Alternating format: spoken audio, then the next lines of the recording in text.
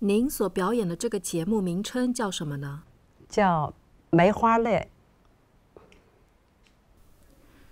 这个节目来自中国的哪个地方呢？这是一个民间的一个呃舞舞曲吧。这个节目表现了一个什么样的故事呢？这个节目就是呃表现了一对儿这个呃男女呃爱情的一个呃可歌可泣的一个故事吧。呃，就像歌词里边说的那样，呃，那日君一别，呃，今又雪花飞。思念你的泪，呃，醉了那枝梅。谁说梅花没有泪？呃，只因冰雪还未寒透梅花蕊。这个节目呢，呃，就是主要表现了这个男女分别以后相互思念的一种情感。您演出所穿的服装来自中国的哪个地方呢？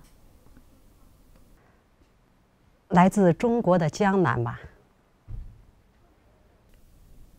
您为什么喜欢表演这个节目呢？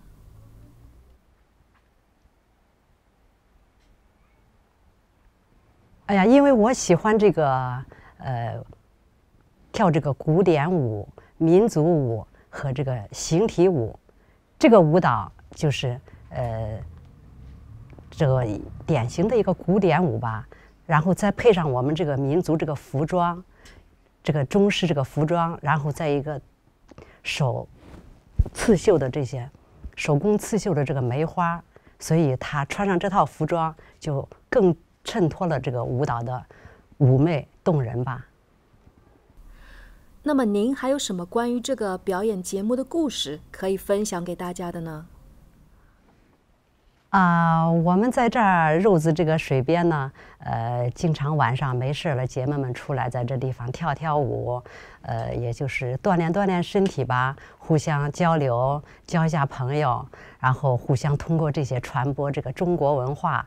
呃，再一个，在这个肉子这个华谊社领导的主持下呢，呃，经常带我们去一些这个呃地方的养老院呀，去慰问一下老人，献爱心，呃。有时候也参加一些大型的一些公益活动，呃，比如到市政厅参加一些表演，呃，通过这个呢，就是传播我们这个中国这个文化，呃，发扬光大。